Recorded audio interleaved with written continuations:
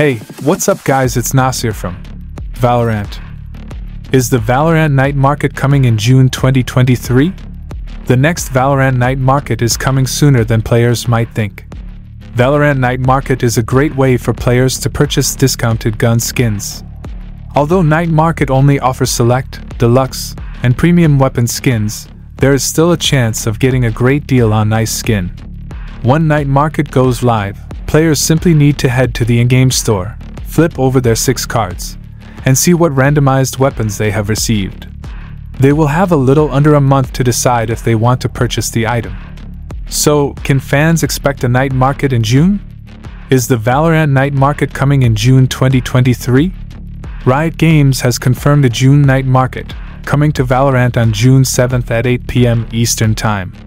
The event will last until June 27th, giving players ample time to peruse their randomized gun skins. Just two days later, Valorant Patch 6.11 will go live with the first major weapons and agent changes in Episode 6 Act 3. Chamber will receive some major buffs to his abilities, and the overpowered Shorty will double in price and decrease in damage. As players wait for the June night market and new updates, they can catch NA Challengers playoffs to see the Guard take on FaZe Clan today at 4 pm Eastern Time. That's all for now. I'll see you guys in the following video. Thanks for watching. I am Nasir. Subscribe to my channel for the next update.